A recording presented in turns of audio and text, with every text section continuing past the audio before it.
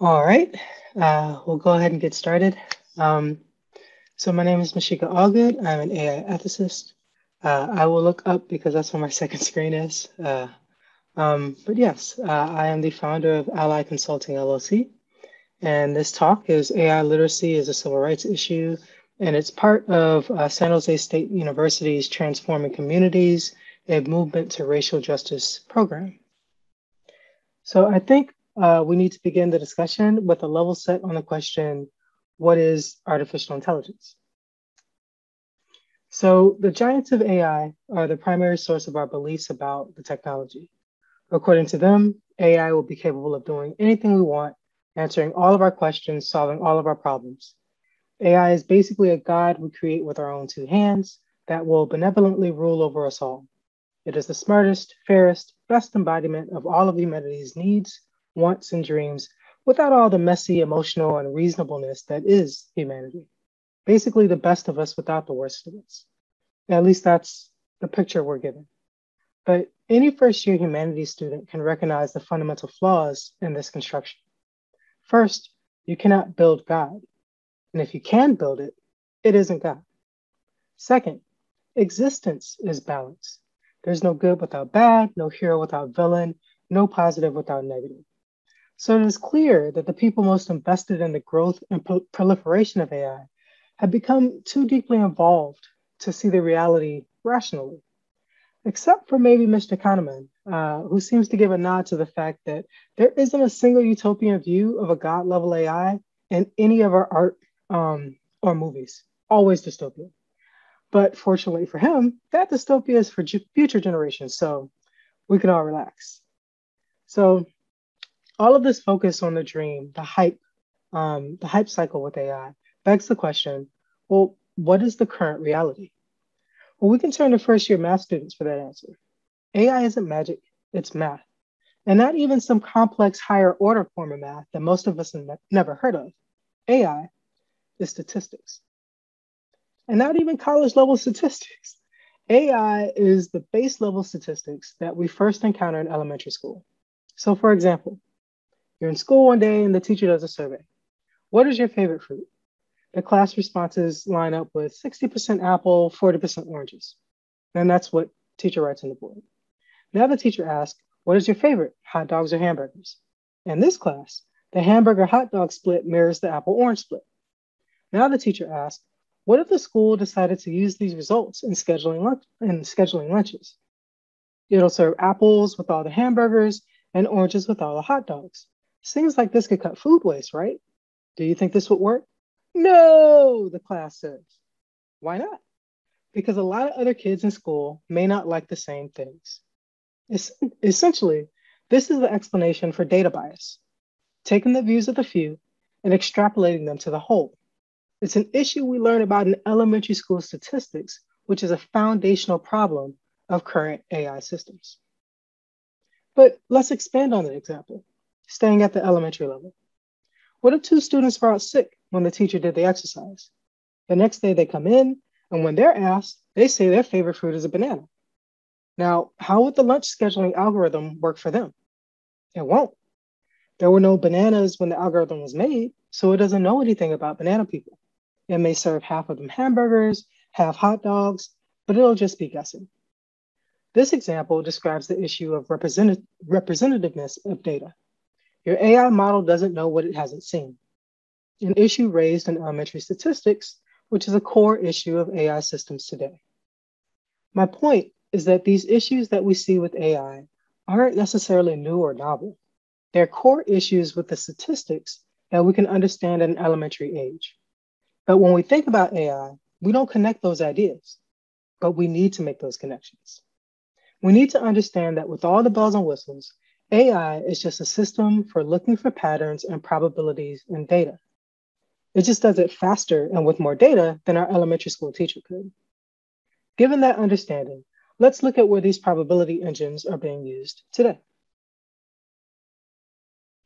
So AI is being used, I'm gonna make this smaller, AI is being used in critical systems uh, in our daily lives. So it's being used in law enforcement. Uh, you may have heard of predictive policing, which is trying to determine where to send the police, how many police, um, you know, based on historical data. Uh, immigration and customs are using AI to decide who has a valid um, claim for asylum, you know, who should be sent back, who's lying, who's telling the truth. Uh, and then all of the data that we use in our daily lives from our Fitbits to our cell phones to Google Maps to DoorDash, all of that data is available on the Ethernet. And a lot of it gets sold and repackaged um, and bought by uh, law enforcement systems. So then you create a, a form of generalized surveillance um, where basically uh, there is data about you at almost every point in your life. And a lot of it makes its way back into uh, law, law enforcement hands and law enforcement applications. When we look at education, AI is being used to screen applicants. So determine if you should be allowed to enter this high school, this middle school, this college. Uh, it's being used to identify at-risk students, and that can be negative or positive. Um, some schools have used it to provide more resources to those students early in their careers. Um, another rather notable instance was a university where they basically threw out all the freshmen who were determined at risk so that they didn't affect their scoring um, for retention at the end of the year. Um, AI is being used to determine financial aid. They call them enrollment algorithms. And basically, they're supposed to determine how much financial aid that you need to be given to enroll at a school, but not necessarily how much it'll take for you to successfully graduate. And so it, it's it's focusing on the entrance, getting you in, getting high enrollment numbers. But from a student's perspective, if that's not enough money to sustain me over time, that exacerbates the issues we have around you know educational loans, um, and people not being able to complete school. And then there's an example in uh, the UK where facial recognition is being asked, or they're, they're determining whether they can use facial recognition to allow children to access free lunch. So these are middle school um, K through 12 level students where they want to take their faces and then determine based on their facial recognition if they can get free lunch that day. Employee management. Uh, AI is being, using, being used in efficiency software. So basically to tell you if you are moving efficiently at every point in the day. A lot of us who work from home have seen these um, or been basically forced to utilize uh, this technology, which logs our, our screen clicks and where our eyes are and noises in the background to determine if we are being efficient, um, efficiently doing our jobs all day, every day. Um, empathy tracking. Uh, there is a move to try to use AI to determine emotions. And so now AI has been sold to um, people who work um, in phone banks, uh, people who, you know, you, you call on the phone for issues and whatnot to basically tell them when they're not being empathetic enough and then present a little prompt to tell them how to be more empathetic. So the machine's telling humans how to be more humane. Um, and HR systems, both in you know the application process. So getting through the application process. Now we're looking at more ai in first level um, uh, interviews. And then on the back end actually management uh, through ai so um, the ai system determines that you have not been doing your job to a certain level and it sends you uh, a separation letter. But in addition to these critical systems ai is being used in housing uh, to screen renters uh, for housing appraisals and uh, one notice, uh, one method that's got, getting a lot of uh, interest right now because of the Zillow crash is uh, housing costs. So Zillow had an AI application that was determining the value of houses and ran up the value of houses over large swaths of the U.S., um, inflated them uh, with no value or with no basis, and now has gotten out of the market. But those inflated uh, prices uh, have affected, you know, uh, people looking for homes and in turn uh, driven up rental prices. And so Americans are going to have to deal with the fallout of that for quite some time. Uh, social services, uh, AI is being used in uh, initial child welfare decisions. So um, deciding, you know, who should have a follow-up, you know, because they've uh, been reported to the child welfare department. it's been used to try to determine unemployment fraud. And there have been some pretty massive um, you know, 1 million people thrown off uh, in Michigan uh, right before the winter, a million people thrown off uh, unemployment in California uh, because the AI system inadvertently or could not accurately determine fraud uh, at the beginning of 2020. Uh, it's being used for workers' comp um, in education or workers' comp for, for screenings. Uh, in education, uh, I believe we just discussed that one. In healthcare, uh, AI has been used for discharge determination. So trying to figure out who's going to have, who's going to suffer uh, complications because of whatever procedure they've gone through. So who should go home and who should stay.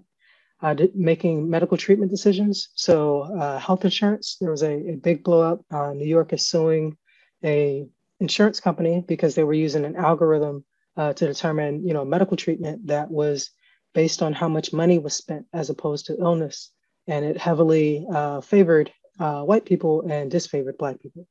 Um, and then insurance payouts. So the NFL had a lawsuit on its hands because they had a insurance um, process for determining if you had CTE, the concussion um, syndrome, and the uh, data scientist had added or basically made some some changes in the base score for Black people to fit the normal uh, uh, distribution, which ended up uh, basically making Black people's mental or cognitive abilities lower than white people's artificially. And so Black people had to have much uh, more significant um, uh, negative impacts of CTE in order to get paid. Um, so AI was sold into all of these systems on the promise of its ability to be more accurate and more equitable, equitable than humanity. So it's been a couple years. How's that working out for us?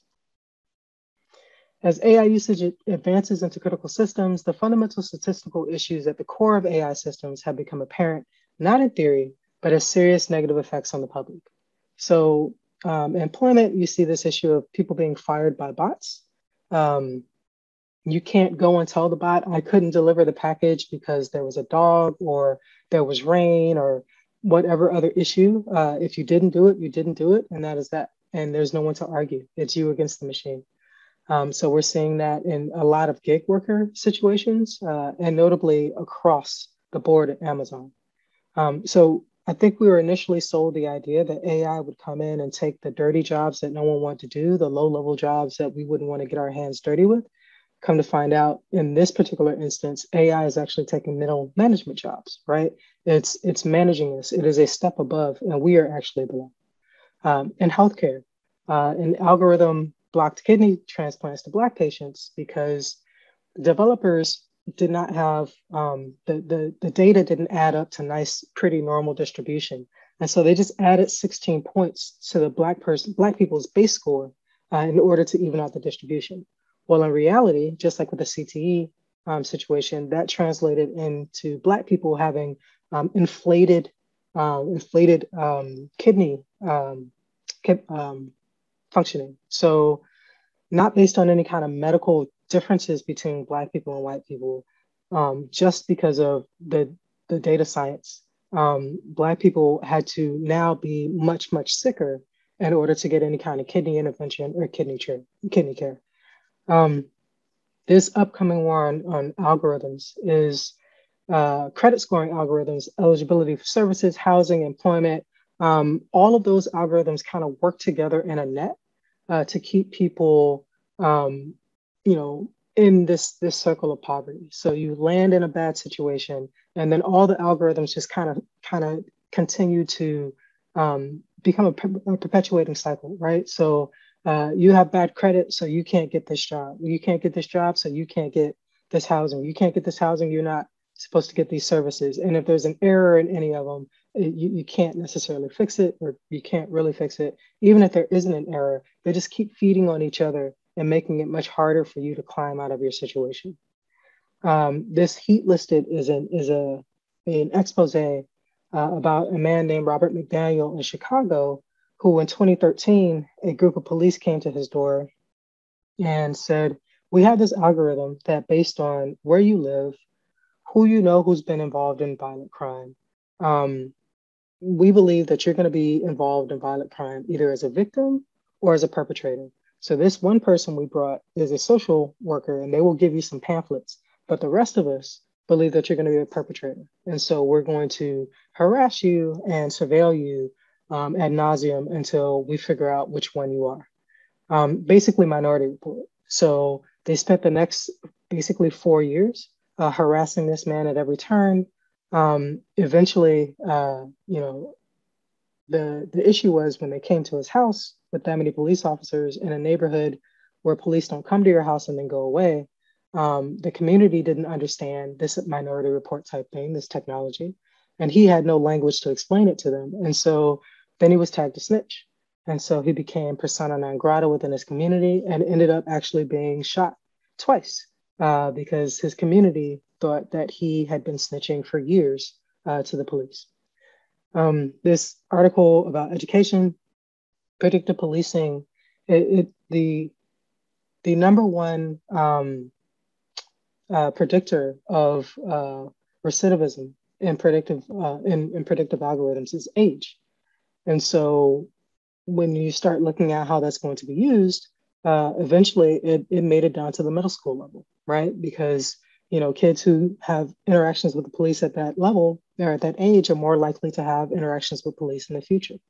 And so there's a particular county in Florida who used this uh, technology, this this uh, predictive policing, and created a campaign basically to run any of the children who were who were um, designated by this algorithm to run them and their families out of the county. And so consistent, perpetual harassment. And it was required of the police officers. So it's it's a systemic thing, right? So it's not just that this was a bad algorithm, but an algorithm is a part of a larger system, right? And so used within the system in this way, uh, it was used to terrorize families to try to push them out of the county so that that negative um, impact wouldn't be felt when the child got older and assume, you know, we assume that they became a criminal at some point. Um, so all of our efforts to break the school to prison pipeline, and now AI is being used to expand it and permanently embed it in the educational structure. Um, and then uh, we're looking in the automotive because we, we talk a lot about self-driving cars now. I'm not going to get into, into Tesla at all, um, but we will look at an example from Uber. Um, a couple years ago, Uber's self-driving car killed a pedestrian um, the self-driving car, the the the algorithm couldn't determine what the woman was. It couldn't determine if it was a person, if it was a car, um, if it was. It, it, went through trying to figure out what she was. And we've known since 2019 that um, self-driving systems have difficulty uh, detecting darker skinned people, and so that that's part of the problem. Um, but it couldn't figure out who she was. Uh, but the system had been set up to where at some point it gives up, and when it gives up, the driver's supposed to take over. Well, the system had no driver warning when it quit. So it just gave up and it didn't it didn't flash, there was no light, uh, no no notice, nothing, right? Um, then it didn't have any kind of buffer timing for the decision making process, right? So how much time does it need to give the driver to act after it quits? It didn't have that kind of timing. Uh, and then the, um, as you can see, the developers had turned off emergency braking because it was creating a herky jerky drive. So the car itself would have stopped if they hadn't cut off ABS, but they had. So all of these systems come together. And basically, the, the system quit with 1.3 seconds uh, before it was going to hit uh, the pedestrian. So obviously, the person who was driving the car was not paying attention, but even if they were, 1.3 seconds is not a reasonable decision making time for a human. But in any case, um, the pedestrian died. The only person who went to jail the people who are making hundreds of thousands of dollars to de- design these systems and put them out into society, none of them received any consequences. The only person who went to jail for this was the person who gets paid $20 an hour to sit in the seat. So these are the kinds of things that we're starting to see more and more of as we continue to push out AI into these into these um, critical systems uh, in in, US, in society. So there are also a couple of documentaries that highlight uh, some of these issues. So Coded Bias is Joy Buolamwini's um, uh, discussion on facial recognition systems. And then the social dilemma is interesting in that it deeply explains how uh, the person who shot uh, the individuals in the in the South Carolina church uh, was radicalized through Google searches. Uh, and so this idea that Google is neutral is not founded on any actual facts, just marketing.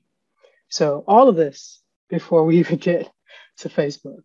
So the question is, well, all right, this is all really bad stuff, right? Um, but obviously everything isn't bad, and there are good people who are trying to do this work. So why can't they just fix the models? And really, a lot of it comes down to data.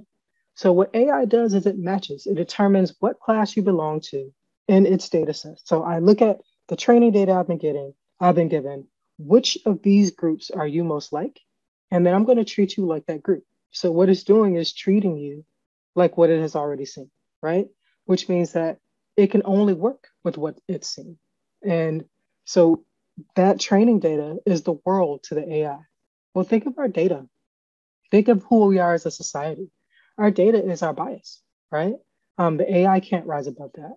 And then you can't eliminate that bias because if you eliminate the bias in data, there's no value to the data, right? If all the data is the exact same data point, there's no value. So it's not an issue of eliminating bias, it's the fact that the bias is there and how do we address it, right? Um, another issue is AI needs massive data sets.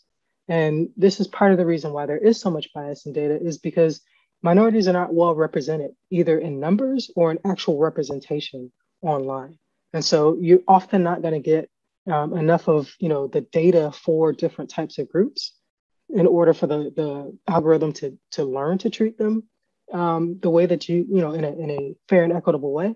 Um, and even if you do get that data, it's typically biased in some kind of way. If you think of how, you know, the data you see about different minority groups on social media, that's essentially what we're stuck with, right? And finally, we're stuck with what we have. So we actually don't understand a lot about how bias is encoded in data. Uh, there's a new um, research paper that came out that said that AI, or that showed that AI can determine race in radiology, like in x rays, and x rays that are so degraded that we can't even tell what part of the body this x ray is supposed to be on, even if there's an x ray in the shot. The AI can still determine race. So we don't understand enough about how race or bias or gender or you know all these other minority factors are encoded in data uh, to create unbiased data sets or to you know um, adequately pull the wrong types of bias out of data sets and really what it comes down to is this is all experimental like there's no one person with a vision driving where we're going with ai um, and there's no understanding of what is happening before it happens um, you know, the, the systems are too complex for us to understand all the nuances or implications. Uh, so all we're really doing is reacting. You know, we're patching problems as they appear. But you know, even understanding all of this, you know, there are people making decision decisions, right? People are making these systems, so they should consider the people who could possibly be hurt when they're developing these systems, right? And so that's kind of how our mind goes, and then we start looking at developers as people with bad intentions, right? And so why are they not looking at people um, when they're making their decisions? And that comes back to our initial point. Um, demonizing the engineer isn't fair, um, and it doesn't fix the crux of the problem. The real decision here is who's actually making these decisions, right? Um, if it's a developer, this is what they're making their decisions based on right? So we've created this mystique around AI that argues that you can only be involved in the conversation if you're a tech expert. You know, basically shutting down the normal decision makers in an organ- in an organization and then shutting them out of the conversation. So the folks who we trust to make decisions based on values, harm, and vision, um, either they tap out or they don't feel empowered to have a say in the overwhelming number of decisions that are made throughout the AI design, development, and deployment process, right? So, you know, people, I don't know anything about AI, so I'm just going to leave it to the developers. Well, when you do that, what you're seeing in front of you, this is how developers make AI decisions. They use statistics. The decisions are determined based on these lines and dots in a chart. So when we're talking about the CTE and the kidney um, functionality, uh, the first thing you're looking at if I'm a data scientist is does the data distribution fit into this shape of a normal distribution um, chart right here, right? This normal distribution makes the math really easy when it comes to AI. And so I'm trying to fit as much of my data into that normal distribution as possible. So if it doesn't naturally fit into that funnel, what do I do? I add a few points, I take away a few points, right? That's what I'm looking at is this distribution. How that works out in reality is now people can't get kidney um, transplants when they should. Okay. When I'm trying to determine if this AI, like at the confidence level, if if it's if it's generalized or if the confidence level is is good enough to where it's giving me the right mix uh, or the closest to accuracy that I can find. We look at that, it's called this um, ROC curve, right? So the perfect classifier is this dot over here. Well, what am I looking at? I get a printout of different confidence levels with these lines. And I'm just looking for the line that's closest to the dot. If this line is closest to this dot, then that's the best confidence level for me to do my job, right? Uh, if I'm trying to figure out, well, which model is best? Which model should I go with? Then I'm looking at area under the curve. And that's basically, is this shaded area closer to here and cover more of this area than this shaded area? And if this is the shaded area, this is the model that I choose. This model should generalize because it's closer to this shaded area, right? Um, I mean, this this model is most accurate because it's, it's closer to the shaded area. And then if I'm trying to say, well, will my model generalize or is it too specific or not specific enough? Then I'm looking at, is it the optimal fit? Does it under or overfit or is it the optimal fit? Well, what am I looking at? Are the dots clustered around this line or are the lines close enough together with a little bit of, you know, this is, this is how decision making happens um, when I'm making decisions based on uh, data science. So no names, no faces, no stories. None of the things that we require human decision makers to consider in every other aspect of our lives. Entire life and societal trajectories decided by charts and, and graphs. So that's what we do when we throw our hands up and absolve ourselves of any responsibility for these issues. We leave it to engineers to solve it through the lens that they understand, which is in no way the type of decision making processes society expects or requires. So that's why this discussion is so important, because we all need to be empowered to play a role in the AI decision making process. Yes, there are seriously complicated technical questions when it comes to the math and programming involved in creating AI systems.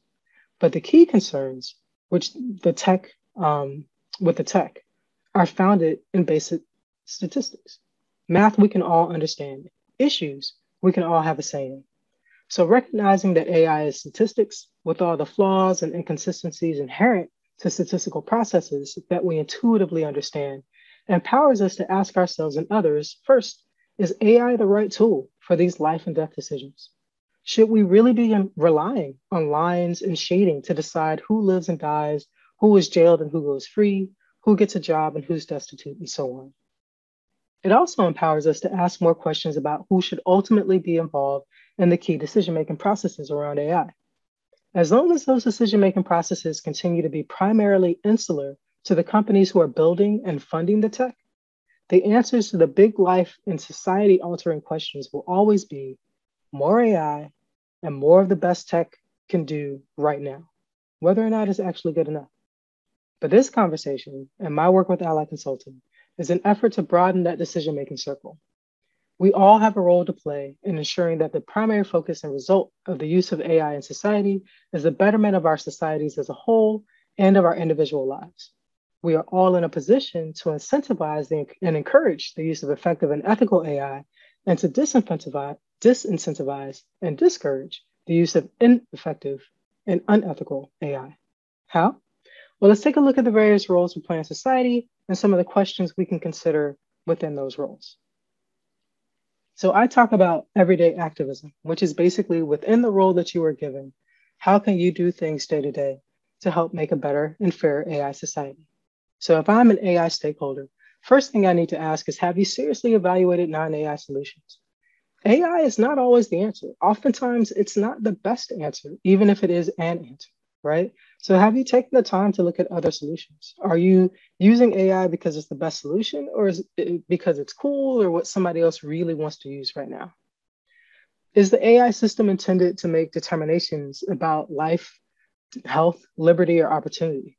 Uh, if it is, then there are some checkpoints you probably want, sorry, there are some checkpoints you probably want to ask about, right? There are some um, social issues that you want to consider. There are some things that you need to be sharing with engineering, providing them context so that they don't, um, you know, create a system that doesn't meet the value system uh, that is expected by society or your customers or the people who will ultimately be um, impacted by the technology.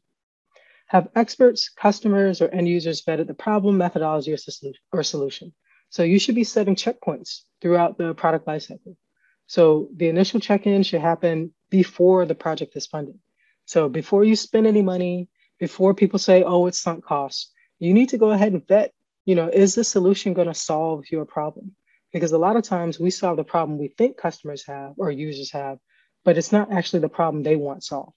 So before you create an AI system that is massively expensive and, and can cause harm, make sure you're actually asking the right questions and providing the right solutions. Um, next, have you vetted your accuracy and fairness expectations directly with engineering and your customers?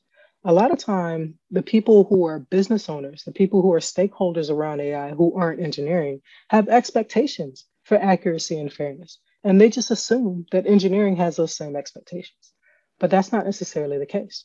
When the COMPAS algorithm, which is used to determine recidivism and determine sentencing in the law, um, when it came out with its predictive accuracy, uh, predictive accuracy was 67 to 72 percent um, for for the most part, which means that it or the the confidence score. So it meant that it was a little bit better than 50-50. I believe if you'd have asked uh, if the if lawyers were involved, they might have had a higher um, a higher bar for what they thought would be a legitimate um, predictive accuracy, right? And so you want to make sure that if someone is building, if you're part of a process where something is being built, um, that you understand, you know, what the engineering team thinks is legitimate as opposed to what you think is legitimate, um, so that there isn't a disconnect and and things uh, don't don't end up the way that you intend. Um, and then finally, what data is being collected, right? Um, how is it all like directly useful right now? How long will it be kept? uh, and who will have access.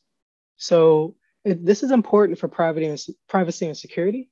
Uh, obviously, uh, data breaches are brutal, um, but it's also important for storage cost. As a business owner, you know, as part of this stakeholder group, you want to consider um, this whole idea of data lakes is gone. Like you don't just collect all the data all the time. You want to collect what is necessary and you want to collect it and keep it for the amount of time necessary for that purpose. And in addition to it just being good business practice, you're starting to see legislation that's requiring that, um, specifically coming out of the EU and even out of China. Now, if I am an AI developer, which uh, largely I lean to software engineering, um, uh, these are some of the things that I would I would be asking. Uh, first, uh, is the engineering culture uh, within your organization appropriately cautious? So there is a an issue now with engineering overpromising and under under delivering. So once again, we see that happen with Zillow.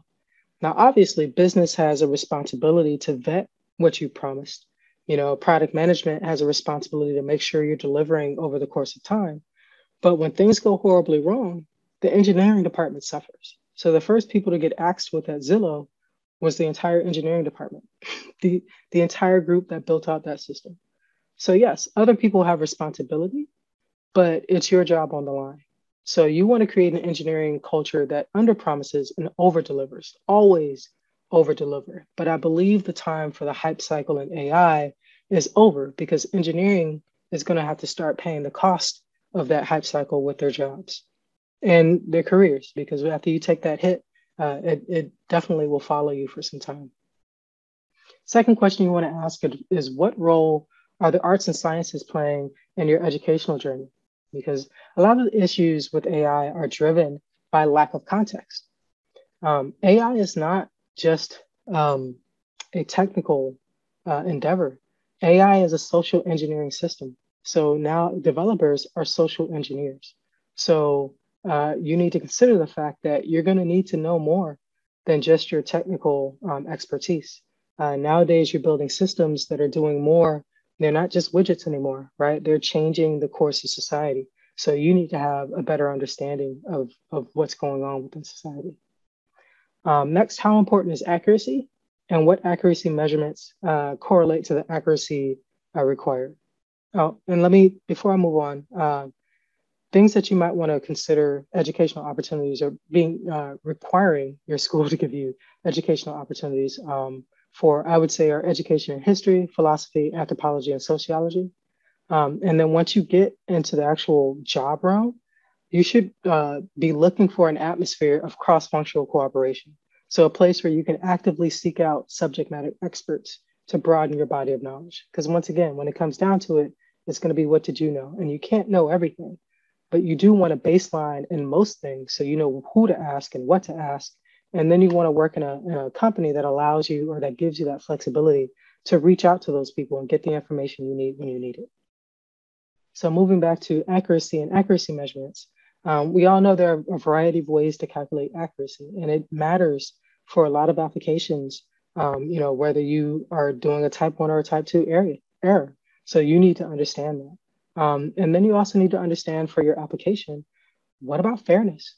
There are something like 28 different fairness metrics, right? There are metrics to measure individual fairness, group fairness, fairness at the intersection. So people who are, you know, cross sections of two or three different minorities. There are ways to measure that now, right? And then there's, you know, differences between if I measure within a small group as opposed to if I measure within the whole, does that does that disparity go away or does it stay? So there's a lot of research being done in this area, um, but you need to know um, some of the basics and start asking these questions about, you know, what will be required of you for your applications. Um, in career-wise and, and the projects you're taking on, are you focused on innovation or incremental progress? Because incremental progress is important for cementing your understanding of technical skills, but you know, actually your your data science, computer science is more than that, right? So you need to require more of the organizations that are running these challenges and publishing AI research because an incremental, you know, accuracy boost doesn't move the field at all, right? Um, and it doesn't help engineering out of some of these difficult situations it's finding itself in when it comes to these social issues around AI. So innovation, um, which is what a lot of people go into, into these sciences for, uh, needs to become a greater focus, you know, once you leave the educational realm. And then finally, uh, while you're still in education, are you learning best practices that are directly translatable to the real world? So a lot of uh, data science and engineering, uh, computer, uh, software engineering um, education provides, you know, they're, they're just trying to teach you the skill. So you get sanitized data sets that are stripped of context. Um, but that's not how life works in reality, right? You're never going to get a clean data set. And, and context is everything. So what you need to be getting is problematic data sets with value contradictions and competing interests because you're not going to just be crafting technical solutions. You're solving actual problems for actual people. That's a heavy burden. Uh, I think uh, at this point, um, the field needs to accept it and start preparing uh, new entrants for this new burden. Uh, educational professionals, specifically those working in the K through 12 room, um, you want to start asking what role does evaluation or subjective data play in model decision making? So we had discussed um, earlier about AI being used to determine um, if students are going to be successful at different levels of education. Well, is there any subjective data in that? Because we know historically that you know certain groups, particularly Black uh, girls, are often um, penal- uh, penalized for um, disruptions in the classroom way more than other people, right? So um, subjectively, they're just assumed to have, you know, engaged in more egregious behavior, even though objectively the research shows that they haven't. Well, if that subjective data makes it into the AI, into the algorithms, then now you know you're you're doubly penalizing and cementing uh, that that penalizing um, into that that young person's future, right?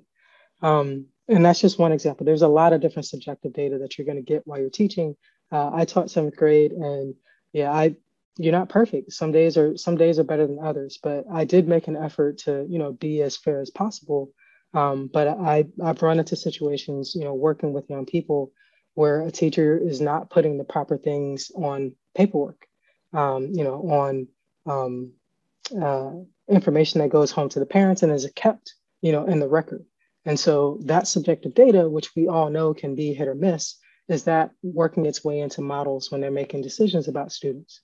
Um, are models decisions explainable?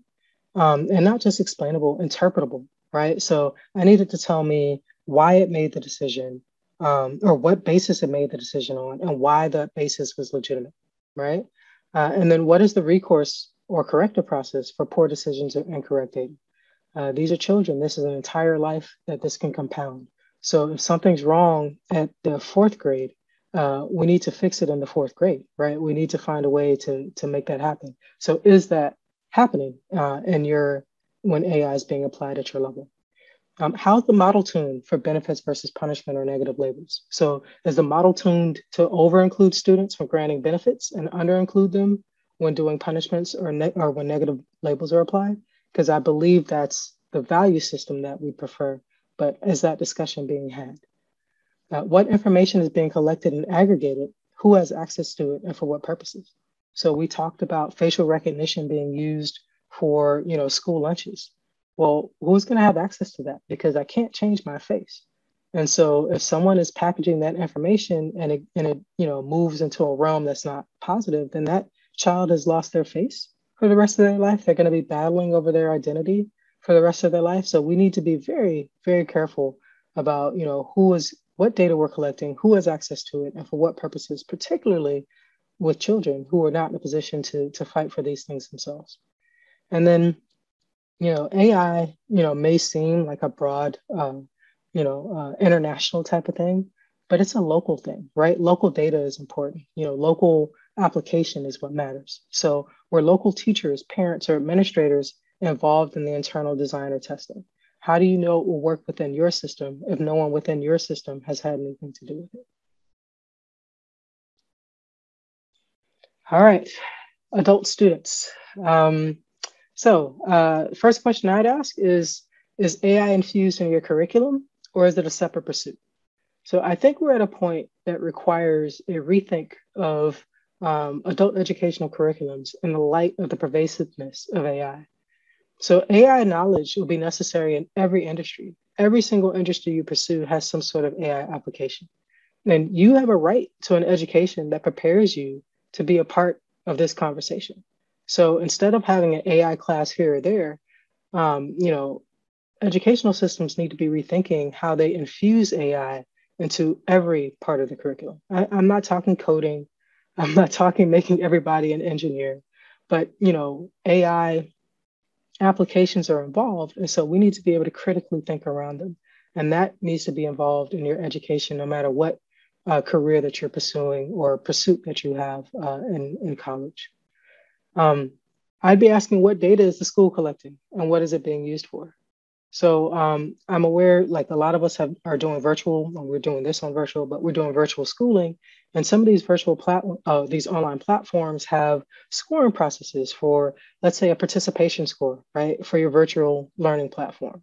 Well, you know, I, I, spoke to a teacher who was saying, you know, the platform said that this student had a low participation score, but they contact me in office hours and we talk like almost every week and they send me emails. But this learning platform is scoring them low because they're not, you know, making comments in the actual classroom setting. Well, where's that being used? Because if that data follows you to do you get into graduate school, that would be problematic, right? but you don't know until you ask. And so that would be something that I'd be asking. Um, are there sufficient security and privacy measures along the entirety of the data pipeline? So a lot of times we look at, oh, well, the when it was collected, it was secure. Okay, well, where is it being stored? You know, who else has access to it? You know, we find out a lot of times that you know there's there's data breaches because a vendor you know left something you know or, or contractor you know was in the system with a you know one two three four password something of that nature um, but yeah, you know, trying to keep your data uh, secure and private is of ultimate importance in today's data-driven age. Um, how much non-tech research funding is available for AI researchers? So the vast majority of AI funding is provided by tech companies. And because they provide so much funding, they heavily influence the type of research that's being performed, um, and they focus it on very narrow areas and this whole incremental gains because those are beneficial to industry. So I would be asking as a student, you know, who's funding our AI research at this university and how do we um, make that funding more equitable, more open, and involve more voices in the conversation so that people aren't forced, you know, to push their research into these very, very narrow bands in order to get funded. And then finally, a question that we don't really talk about, but data centers are not carbon neutral they pump out carbon emissions like it's their job. And we're not having that conversation. So there was a lot of conversation maybe 10, 20 years ago about defunding around oil and gas, right? As a part of us trying to move towards a cleaner society. But no one's, you know, hitting colleges about how much carbon is being emitted by the AI systems, you know, that are being used within the college and to support the college. Um, and are those costs uh, being offset? Are they being included in the carbon neutral pledges? Like we don't have any data. So if you don't know you know what's going on, then how can you understand and plan for it? And then the final group I want to talk about uh, is social activists. So um, yeah, so first thing we need to know is where AI is being used uh, in communities, both public and private. So the one thing you find out when you get into like looking at this AI stuff is that the companies that are doing the most uh, and that are the most pervasive in in the social in our critical systems are the companies you've never heard of. So we hear a lot about Facebook, but Facebook is social media. Um, it has a couple inroads here and there, but the companies that are really doing a lot of work, uh, you know, when it comes to working with universities, working with, um, you know, law enforcement for surveillance tech, uh, you know, providing healthcare algorithms, you don't hear their names. You don't know who they are, and they're not advertised. And so uh, it's really important to start asking where AI is being used uh, and getting an accounting. So I found one one study in 2019 that had an accounting of where the federal government was thinking or federal um, governmental entities were thinking about using AI. And that was it. No, but it, it didn't list company names. It was just, you know, this is what we can find right now. So this information is not freely given, and people need to start asking. Um, once again, how much carbon will be emitted by these AI systems that your community is using, um, both in the contract uh, during the contract term and the training. So we often think, oh, well, after it's trained, the AI is, is clean. Actually, it emits 80% or it, it requires 80% of the energy after it's been trained. So the training process is a highly energy intense process, right? Um, but the maintenance process is just as energy intense, if not more, and it goes for longer. And so we, we tend to think you get an AI system, it, it, it handles it, and you're good to go.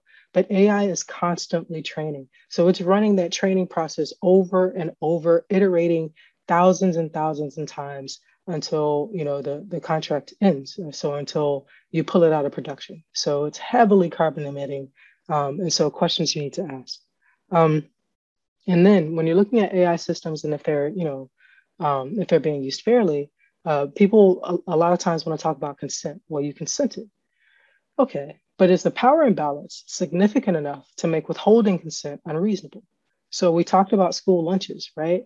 If the parents withhold consent for facial recognition for their children, then their children don't eat. Is that a reasonable um, consent? Uh, can we say that they actively consented? Uh, the United Nations right now is using iris scans for refugees to obtain services. Well, can they not consent? Like, is that legitimate? And even if I get out of, you know, the critical um, social sphere, let's just move into the business sphere. Can I work internationally and not consent to Google Docs or OneDrive?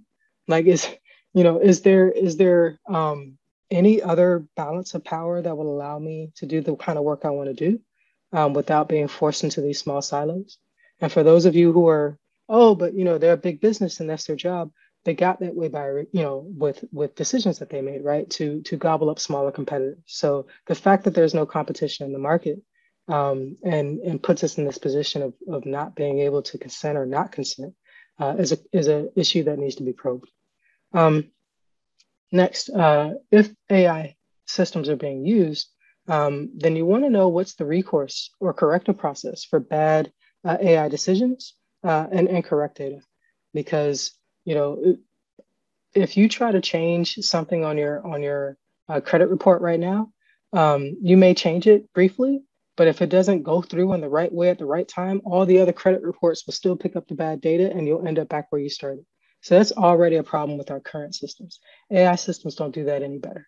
And so when data gets packaged and resold and moved here and moved there, then you're still in a situation where you're getting, you know, those those errors uh, repopulated.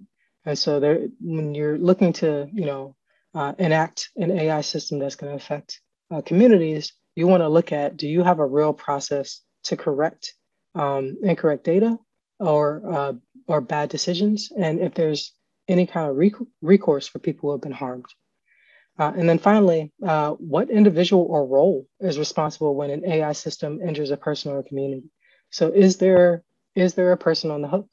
Because right now, as you see, we're we're pointing out all these issues with the AI, um, but when it came down to the Uber example, the only person on the hook was the only was the person in the car, and that's because that's the law. You know, faults the person in the car, and so there wasn't really an understanding of how do we how do we you know provide recourse or how do we um, you know look at someone else uh, being held responsible uh, for this particular action.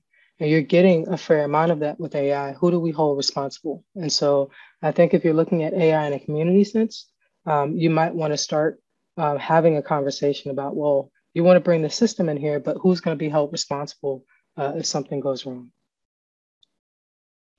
So those are just a few ways that, um, or, or, questions you can ask and, and different things that you can consider in the course of your normal job or your normal role in society um, that will help make a difference in the AI conversation. So AI literacy, the knowledge of you know what AI is, its limitations, um, you know, and, and what it's what it's best suited for, allows us all the opportunity to become everyday activists, empowering us to make positive changes in AI through our normal everyday um, living. So with that, uh, this is basically a call to action to get educated, right? Um, so I, I, put a couple sources here. The Foundation for Best Practices in Machine Learning. So a lot that you hear about AI and AI ethics is frameworks and operational guidelines, or they're really high level um, things that don't really translate into engineering practices. And so this group, Foundation for Best Practices in, in ML, I'm, I'm part of this group. Uh, but we've worked together to create open source technical and organizational guidelines. So there are two separate guidelines, one for organizations and how to set up your organization for best and ethical AI practices, and the other one specific technical guidelines on how to build AI ethically. Um, so that link uh, is, is live uh, and you can use that uh, when the presentation becomes available. Um, and then the other two are shameless plugs for my AllAI work. Um, uh, the LAEd Classroom is um, where I provide uh, educational resources, um, hopefully uh, that are accessible to all.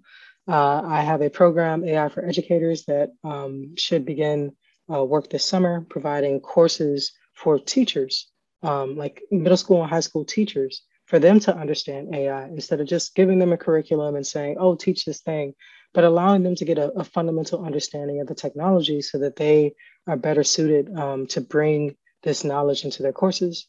Um, I provide free AI ethics courses, um, which are basically no fee lectures on a wide variety of issues um, in the areas of AI ethics, data privacy, and security. I post those uh, as, as free courses in the AllAI classroom.